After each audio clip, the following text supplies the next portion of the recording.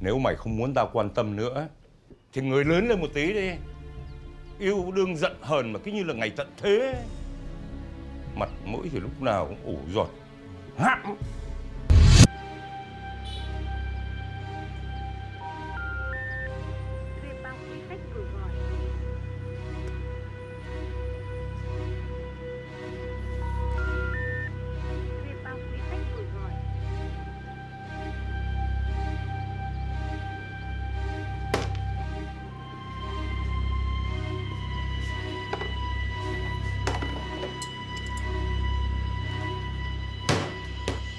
Mở mồm ra là khoe này khoe nọ. Động đến là co vòi lại. Giàu có để làm cái gì Vô dụng.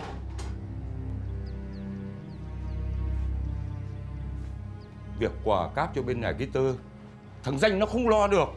Bố sẽ bảo cái son nó chuẩn bị cho con.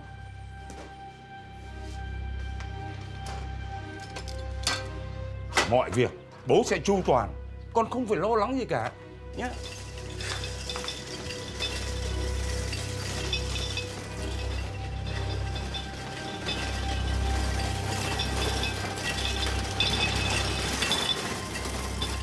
Con tơ hôm nay không đi bán hàng à?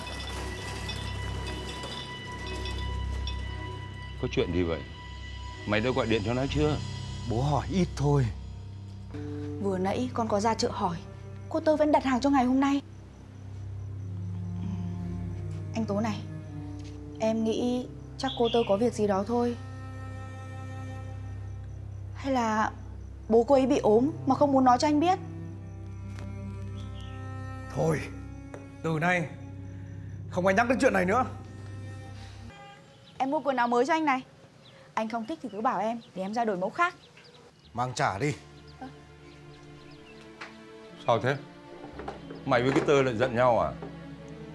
Không phải việc của bố. Nếu mày không muốn tao quan tâm nữa Thì người lớn lên một tí đi.